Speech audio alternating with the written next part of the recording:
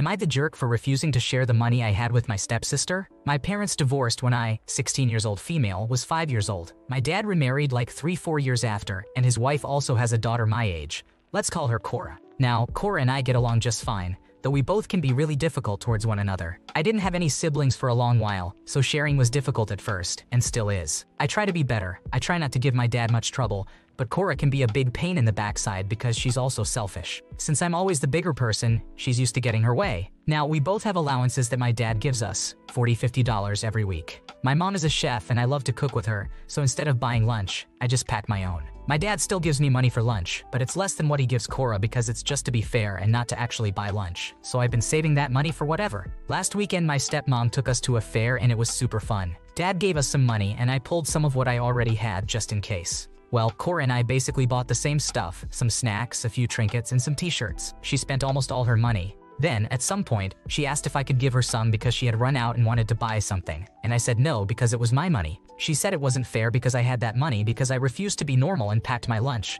something that apparently brings her shame. I said I didn't care. My stepmom came and asked what happened, and when we explained, she offered Cora another 20. But Cora said what she wanted to buy was 30 or 40, and my stepmom only had that 20. Then she, my stepmom, asked me to do it and that she'd give me the money at home. I don't know why. Maybe because Cora called me weird a bunch of times, or because I'm fed up with her always getting her way. I said no. My stepmom reminded me she was going to pay me, and I said no either way. She said I wasn't being fair. We had an argument, and midway, I said this should be talked about with my dad, and that shut her down. Now, Cora and her friend are messing with me because of that, and I'm doubting if what I did was right. Nothing you have done here makes me think you are the jerk here. Your stepsister needs to learn to save some of her money instead of expecting others to bail her out. Cora could have used better judgment when spending her money, and her mom shouldn't have enabled her behavior further. If they're messing with you over this, stand up for yourself and maybe let your dad know what really happened. Am I the jerk for saying no to take care of my brother's pets while he's out of town for an emergency? I am nine months pregnant, just a couple of weeks away from giving birth, and my mom has been wanting to come to help my husband and me ever since we found out we were having a baby. My brother lives around an hour away, and we've been essentially sharing our mom since we are both her kids, and she wants to be with us both even though my brother mainly wants our mom to come over to help him clean and keep his house together because he and his fiancée are both messy and struggle with household chores. She is with me now, but he still asks her sometimes if she can come over to do a quick cleanup. He found out over the weekend that his father has been hiding a serious illness from him, and he is now in the hospital. So my brother has decided to leave the country this week due to this emergency. He has a fish, a hamster, and a dog that belong to my nieces. His fiancée, who apparently has severe anxiety and codependency,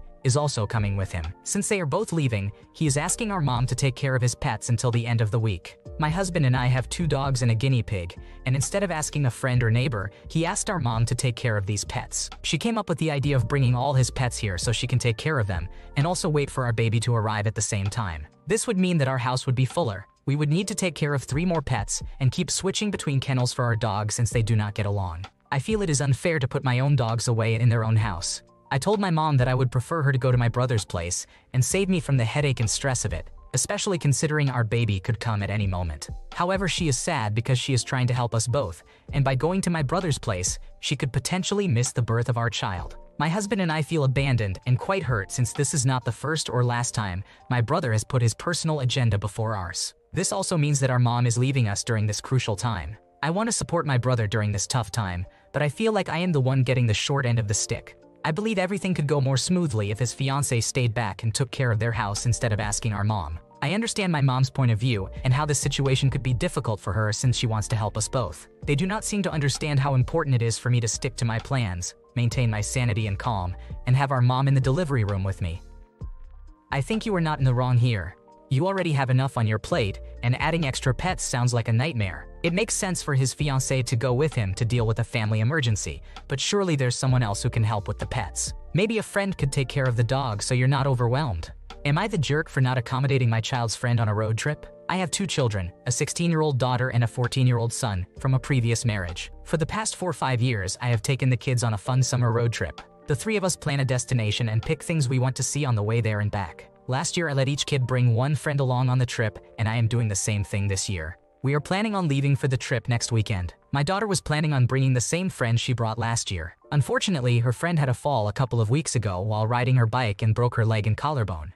I don't think it's a good idea for her to come due to the discomfort and limitations she would face. My daughter says her friend still wants to come and her parents are okay with it, but I suggested she invite a different friend. She says she doesn't have anyone else she wants to ask. I went behind her back and talked with her friend's parents about it. After our conversation, they agreed that it would probably be best if their daughter stayed home. My daughter did not take this news well and thinks I sabotaged her friend coming with on purpose. She has been begging me to cancel or change some of our plans so that her friend can still come. I told her that both me and her friend's parents agree that her friend coming with isn't a good idea. She is saying she won't come on the trip at all if her friend can't come. I do feel bad about the whole thing, but at this point, I don't think there's much else I could do to make this work.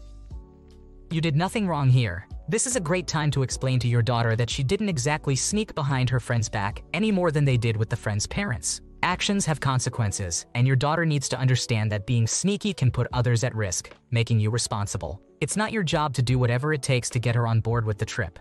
This kind of behavior raises entitled kids. Am I the jerk for telling my spouse's children how financially struggling he was when we first got together, after they hinted that I was only with him for his money? I've been married to my husband Rob for four years now. My husband's late wife died one year before we met, and we dated for two years before marriage. He has two kids, Madison who is 28 years old and Brett who is 26. Note I am not calling them my stepkids because they explicitly told me I am not their stepmom, just their dad's wife. It's always been tense between us. I've tried my best to be kind to them and have been generous when I can, but they are very cold towards me. Being a child of divorce, I can partially relate to a parent moving on, so I try not to force anything. Madison recently got engaged, and we are excited about it. Everyone was over recently, and she asked about a wedding budget from us. Rob told her he was able to contribute $10,000. She has bigger hopes for her wedding than this, so she was upset and kept asking for more. Rob, however, is still working hard on building his savings back up. Rob went to run an errand, and it was just me and his kids. Madison then asked me if I'm going to give any in addition to what her dad is giving. I told her we're a marital unit, and that's what we discussed together as a reasonable amount to contribute. She then said, I should have known. Obviously you married an older man for what he had, not for what you could give. I knew she didn't like me, but this is the most flat-out rude thing she ever said. I kinda lost it and said, excuse me, who do you think has been paying the second mortgage your dad took out to pay his debts? The truth of the matter is I make more than her father by a large margin. I have no debt, and I have been paying 70% of the household bills the whole time we've been married. The $10,000 we're giving her is available because I've been able to subsidize her father's living expenses the last few years. I made it clear that not only am I not a gold digger, I'm literally wealthier than my older husband. She called me stuck up after this and stormed out. Then she called her dad later and said that I told her that I blamed her mother for being sick for her not having a better wedding budget. I told him what happened, and he was mad at her, but also said I shouldn't have shared his financial details with his kids. You are not in the wrong here. He should have shared his financial situation with his kids a long time ago. She is an adult and old enough to understand that medical expenses have depleted their savings. It's a sad reality of for-profit healthcare, but he needs to be clear with them to avoid misunderstandings. Am I the jerk for telling my friend it's not my problem? She married a useless person? I, 32 years old female, am a single mother of two kids, 6-year-old boy and 5-year-old girl. My kids are donor conceived. Before I had either of my kids, I made sure to have a year's living expenses saved.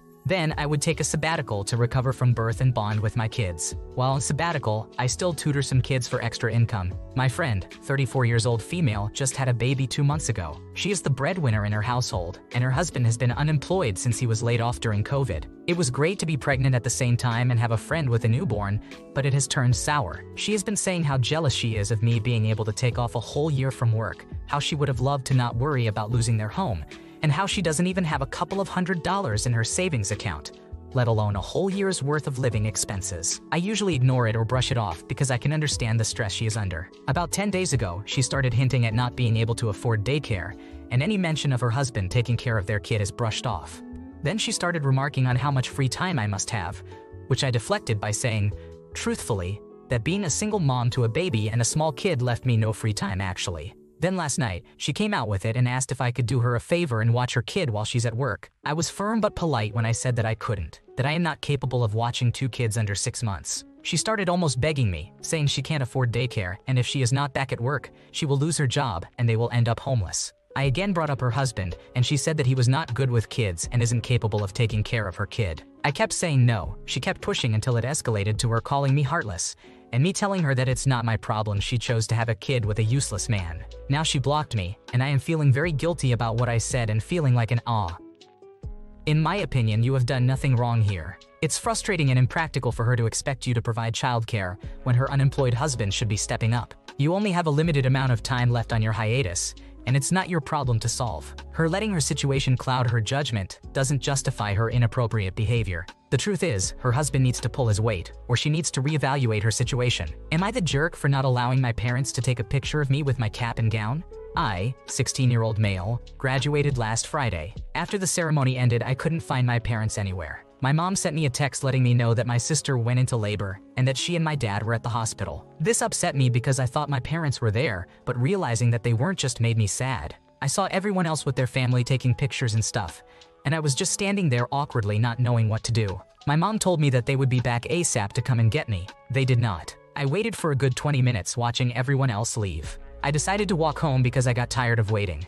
I walked three miles before my parents drove by and made a U-turn to come and pick me up. They were mad when they saw me walking. They told me that it was disrespectful of me to leave without telling them and accused me of putting myself in danger. I told them that there weren't a lot of people left at the ceremony and I didn't want to wait anymore. They told me that they were sorry and kept trying to justify why they left. I told them that it doesn't make sense for them to leave when my sister's husband was there with her, and if they really wanted to abandon me, they could have at least had one of them stay with me. But they left me with no one to watch me and ruined what was supposed to be a good day for me. My sister didn't even give birth that day. She gave birth like 18 hours later, which pissed me off more. The problem is my parents are upset with me because they wanted to take another picture of me with my cap and gown on, but I refused. The one they took of me in the car, I wasn't smiling, and my parents wanted a redo because of it. I told them no. I said that if they already had a picture of me, that's all they are going to get. I told them that there are pictures of me on my school's Facebook page, and they can screenshot it from there or leave it alone. If they choose to attend my college graduation, they can maybe see me in another cap and gown. But until then, I don't see why I have to put it on just for them when they chose to miss it. They feel as if I'm punishing them by not allowing them to take a picture of me. I just feel like if they wanted a picture, they should have been there. Other than that, they can use the ones on Facebook, the one in the car, or none at all.